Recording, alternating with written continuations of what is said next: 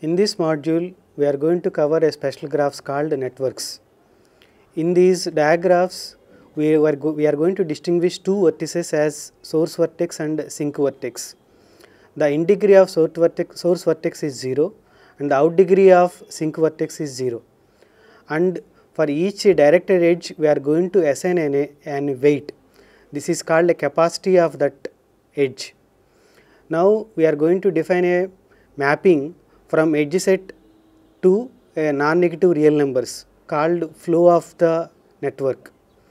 Now a, a flow is said to be feasible flow if it satisfies some conditions called capacity constraints and conservative constraints. Our objective is to find out maximum feasible flow in this network.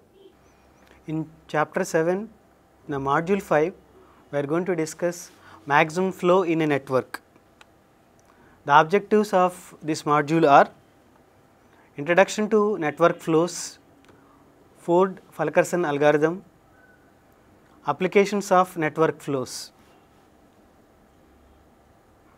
definition of a network. A network denoted N is a diagram of X together with a non-negative capacity function. This capacity function C is a mapping from edge set of X to non-negative real numbers. R plus union 0 means set of all positive integers and 0 is allowed. That means for each edge directed edge we are giving a, a weight we are assigning a some number called weight that is called capacity of that edge. So, for every directed edge we have a capacity. Two distinguished vertices denoted S and T which are commonly called source vertex and sink vertex respectively. The vertices of the network are also terms commonly called nodes. Flow of a network a flow f assigns a value f of e to each edge actually directed edge that is flow is a mapping from f from edge set of x to r plus union 0 that is non-negative real numbers. Let n be a network with its associated diagram of x also let f is a mapping from edge set of x to r plus union 0 be a flow then we write f out of v is the total flow on the edges leaving v f in of v is for the total flow on the edges entering v in particular f in and f out are also functions from these are functions from vertex set to non-negative real numbers. So, f is a mapping from edge set to non-negative real numbers, but f in and f out are functions from vertex set to non-negative real numbers. So, for a given functions we are creating a new functions from edge set to non-negative real numbers to vertex set to non-negative real numbers. We assume that f in of s is equal to f out of t is equal to 0. A flow is said to be feasible flow if it satisfies the capacity constraint capacity constraint that is 0 is less than or equal to f of e is less than or equal to c of e for each edge e of x and conservative constraints that is f out of v is equal to f in of v for each node excluding the source and sink node. The value of the flow is denoted val of f is a net flow that is f in of t minus f out of t which is equal to f in of t into the sink or it can also defined as net flow that is f out of s minus f in of s that is equal to f out of s out of the source. A maximum flow is a feasible flow of maximum value. A zero flow assigns flow 0 to each edge and it is feasible. we are, we are going to illustrate all these things with an example. Look at, consider the following network. In the first graph what we saw is, the, it is a network with 4 vertices S, U, V, T. S is a source vertex and T is a sink vertex. The in degree of S is 0 and out degree of T is 0 and all edges are given some capacities. For example, the edge from S to U has a capacity 20, the edge from U to T has capacity 10, the edge from U to V has capacity 30, edge from S to V has a capacity 10 and V edge from V to T has a capacity 20 again. So, this is a network flow. Now, we are going to give a flow to it. So, 0 flow first we are assigning, then its 0 flow is denoted as S2U we are given flow as 0, flows are denoted in the brackets, again from U to T everywhere we given a 0 flow. Now, the following network is not a feasible flow. The third example or third diagram shows that for the vertex u, if you see that the uh, the inflow to u is 1 whereas outflow to u is 2. u to t the flow value is 1 and u to v also flow value is 1. So, f in of u is 1, f out of u is equal to 2. So, it is not a feasible flow. Similarly, in the fourth example or fourth diagram where whereas the following network is feasible flow, but not a maximal maximal flow. Why it is not a maximal flow? The the flow going out of S is 8 and go, going to towards T is also 8, but it we, we can give more flow than the this diagram shows. Suppose we are given the network X and the capacity constraints on the different edges of x as you can see in the above figure, then natural goal is to arrange the traffic so as to make most efficient use of available capacities. Suppose we start with a 0 flow that is f of e equal to 0 for all e of the edges Clearly, this flow respects the capacity and the conserva conservation conditions that is it is a feasible flow. But note that we not achieved anything as we have not utilized the network at all. So, we are try to increase the value of the 0 flow f by pushing the flow along the path from S to T up to the limits imposed by the edge capacities. So, we can choose the path consisting of edges SU, VU and VT and increase the flow on the edges to 20 and leave f of e equal to 0 for other two edges. We will illustrate this in the following network diagram. So, if you look at this example, here the flow value from S to U is 20 the maximum capacity is also 20 and the inflow to u is 20, outflow to u is also 20 means 0 flow is going from u to t and 20 flow is going from u to v and total flow now to re reaching t is again 20. So, but note that the flow value is which is equal to 20 at this stage is not the maximum. The maximum flow value can be achieved by the following network. So, in this network we changed the flow value. So, we defined a new flow value, new function. So, if you look at from S to U the flow value is 20, from S to V is also flow value 20. So, now the flow value reaching to T that is again 30. So, that is the maximum we can do for this network. So, that is this last flow is the not only feasible flow, it is a maximum feasible flow. Now, we are going to define an F augmenting path. When F is a feasible flow in a network N, an F, F augmenting path is a source to sink path P in the underlying graph X underlying graph x means in the network we have directions. if you remove the directions then the graph is called underlying graph. So, n is a network and underlying graph is x. The x does not have the directions such that for each edge E belongs to E of P, if P follows E in the forward direction then f of E is less than C of E. So, that means we are putting condition then only it is called an f augmenting path. If P follows E in the backward direction then f of E should be greater than 0.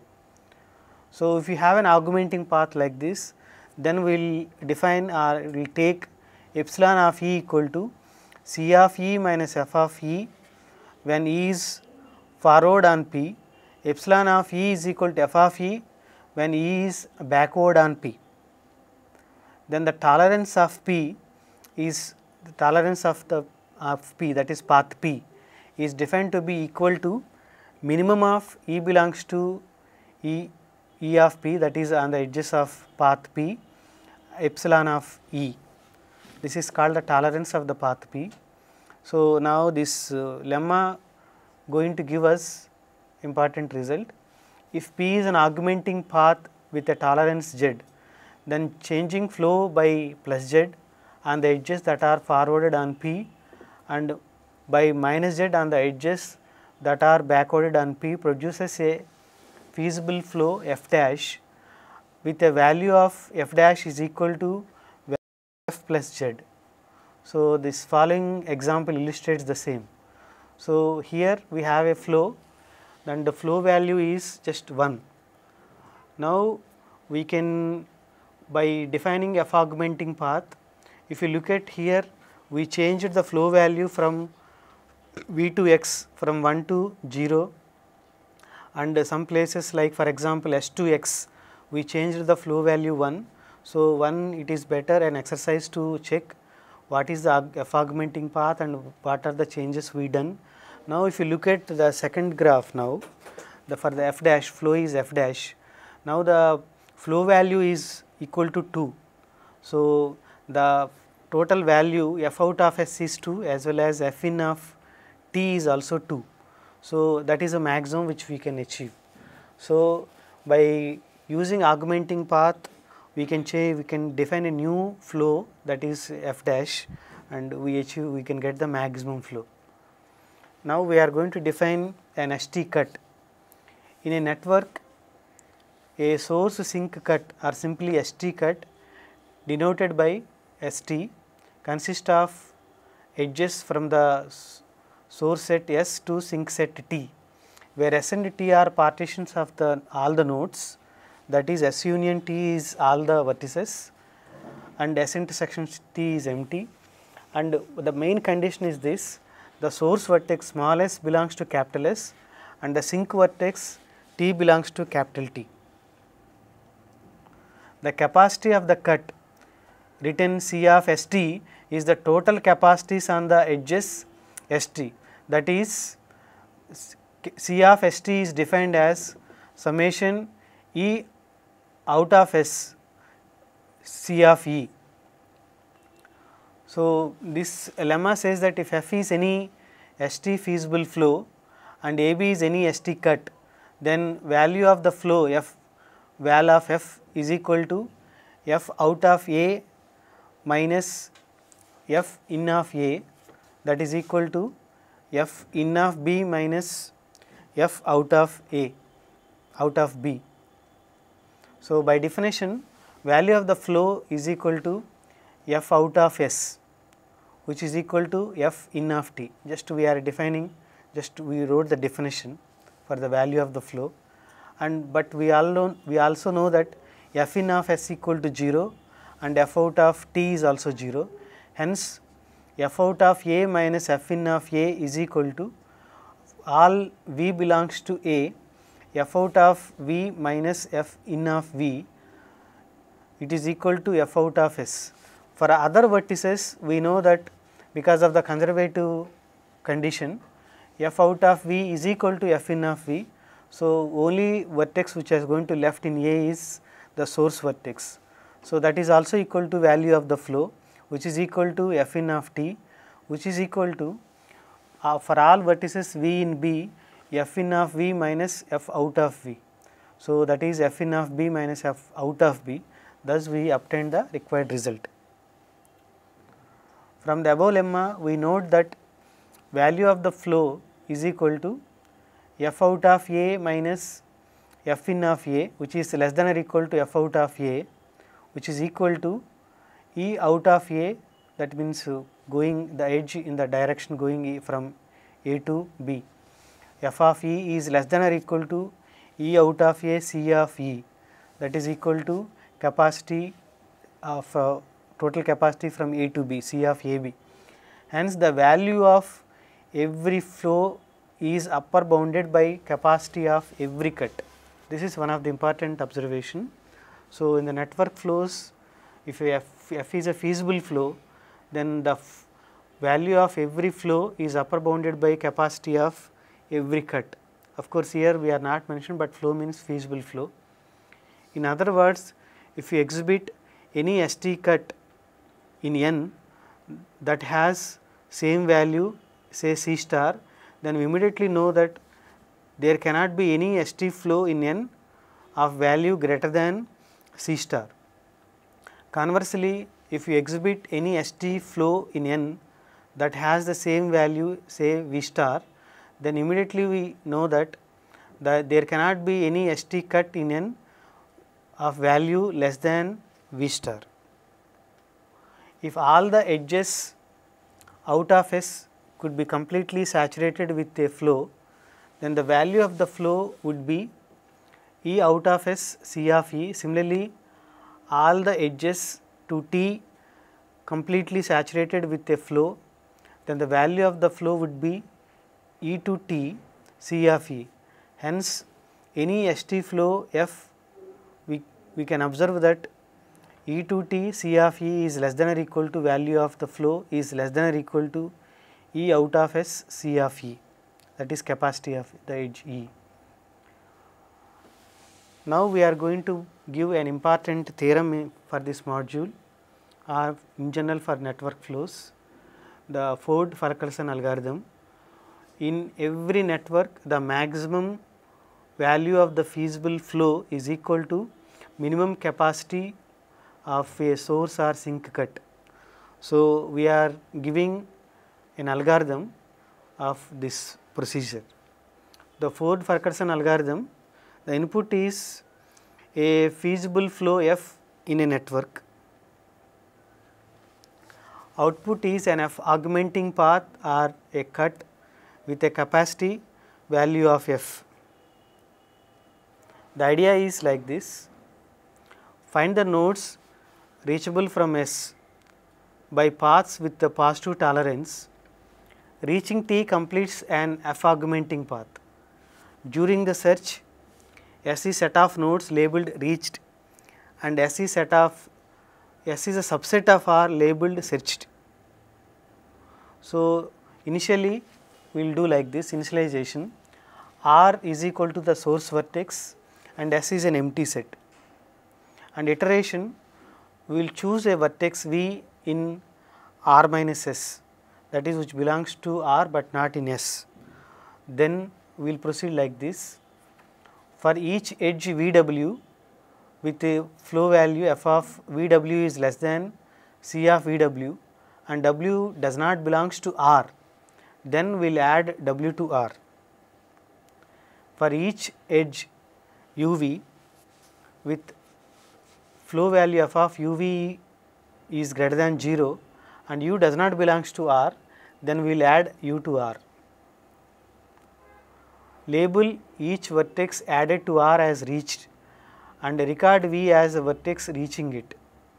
After exploring all edges at V, add V to S. If the sink T has been reached, put in R, then trace the path reaching to T and report it an F augmenting path and terminate.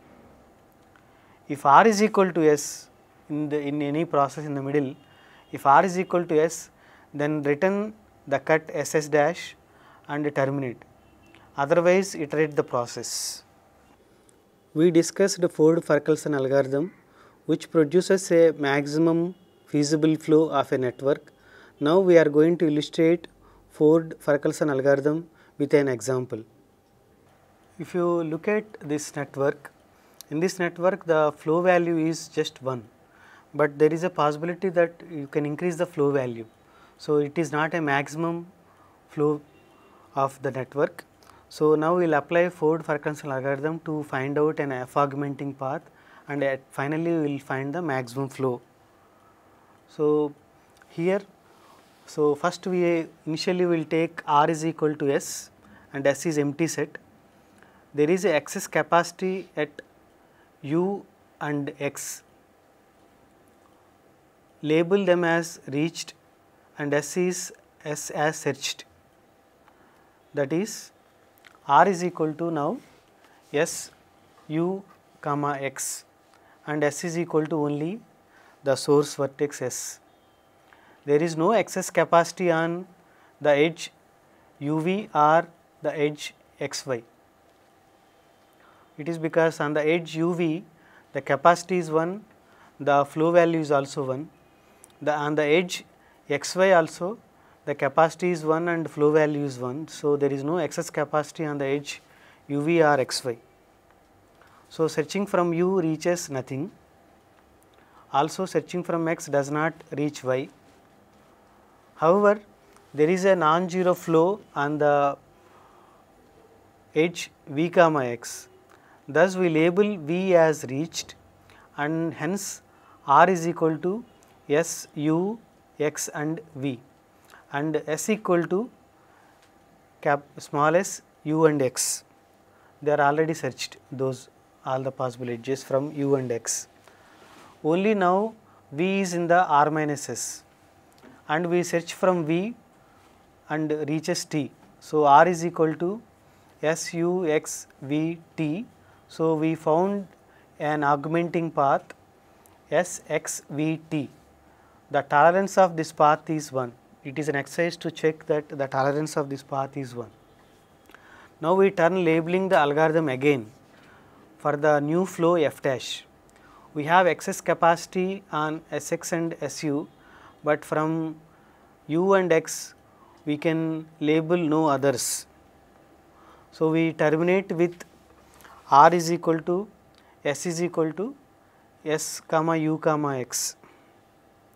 So, here we have r is equal to s occurred.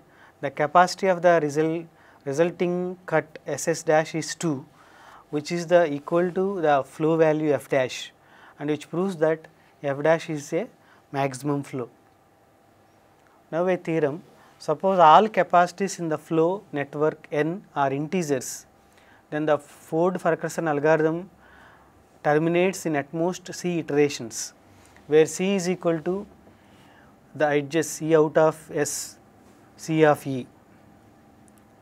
The proof is very simple due to capacity con constraints on the edges leaving s no flow in x can have the value greater than c. The value of the flow is maintained by Ford Fulkerson algorithm increases in each iteration. So, it increases at least one in each iteration. So, at most of c steps will get a maximum flow value. So, that is why this proof is simple. Now, integrality theorem. Integrality theorem says that if all the capacities in a network are integers, then there is a maximum flow assigning integral flow to each edge. Furthermore, some maximum flow can be partitioned into flows of unit value along the paths from source to sink. So, this is also important. The some flow value, some maximum flow value can be partitioned into flows of unit value along the paths from source to sink.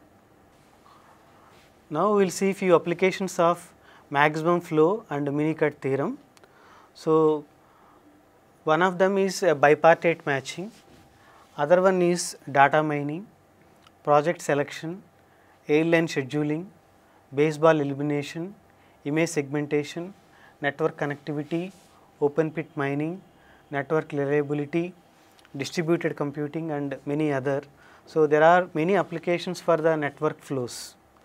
So, it is difficult to give the all these applications. So, we will give one or two applications. The first one is bipartite matching. So, we will see that bipartite graph matching problem is defined like this. Instance is a bipartite graph x. The solution what we need to find out is a matching of largest size in x.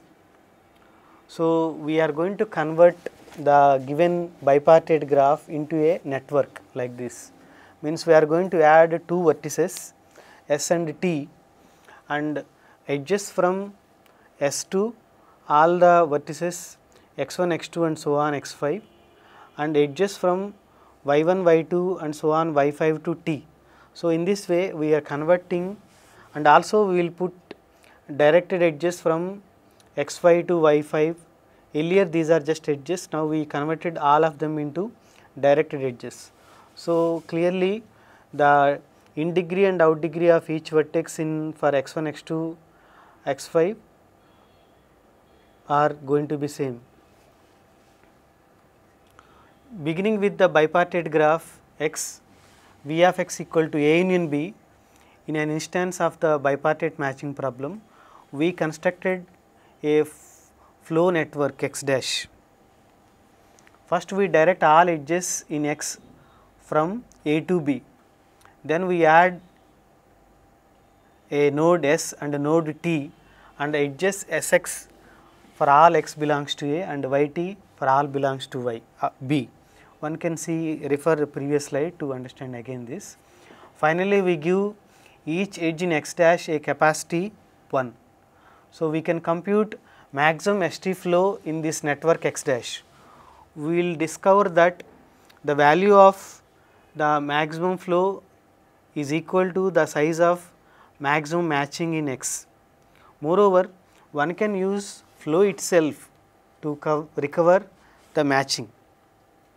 The Ford-Fulkerson algorithm can be used to find maximum matching in a bipartite graph in order of m n time where n comma m are the number of vertices and edges respectively. So, this is a very nice application to maximum matching can be found in a polynomial time or very simple time. So, now we will illustrate matching implies flow. If there is a matching with uh, k edges in x, there is an ST flow of value k in x dash. So, that we will show. Suppose there is a matching in x with consisting of k edges with appropriate relabeling, we will assume that those edges are x1 y1, x2 y2 and so on xk yk. Then consider the flow f that sends one unit along each of the path from s xi yi t that is f of e equal to 1 for each edge on these paths. If f is st flow with value k now, flow implies matching. If there is an integer valued flow f in x dash with a value k, there is a matching m in x with k edges. There is an integer valued flow f of value k, flow along any edge is either 0 or 1. Let m be set of all edges not incident on x or t with a flow value equal to 1 we claim that M contains k edges. Consider the cut S t with S equal to capital S equal to small s union A. Each node in A respectively B is a tail respectively head of at most one edge in M. Proof follows from conservative flow. So, conclusion the size of maximum matching in X is equal to the value of the maximum flow in X dash. The edges in this matching are those that carry flow from A to B in X dash. Now, we will see another application of network flows that is uh, disjoint path problem. Disjoint path problem says that given a digraph x equal to v comma e and two nodes s and t, find the maximum number of edge disjoint HC paths. Two paths are edge disjoint if they have no edge in common. So, first this is a definition of edge disjoint paths. Maximum for formulation for this is assign unit capacity to every edge. So, the theorem says that maximum number of edge disjoint ST paths equal to maximum flow value. Suppose there are k edge disjoint paths P1, P2 and so on Pk. Set f of e equal to 1 if e participates in some path Pi, else f of e equal to 0. Since paths are edge disjoint, f is a flow value of the, so f is a flow of value k. Since there are k paths are there and because of the feasible flow, we are going to get f, the flow value of f is k. For the converse part, assign unit capacity to every edge. Suppose maximum flow value is k, then from integrality theorem which we stated earlier, there exists 0 1 flow f of value k. Consider the edge SU with f of SU equal to 1. By conservation, there exists an edge UV with f of UV equal to 1. So, continue till reach T, always choose a new edge, produces k of course not necessarily simple edge disjoint paths. So, one can eliminate the cycles to get a simple path if desired. We observed various applications of network flows, but we discussed only two applications. One is bipartite matching problem, other one is disjoint path problem. With this we end this module as well as this chapter 7.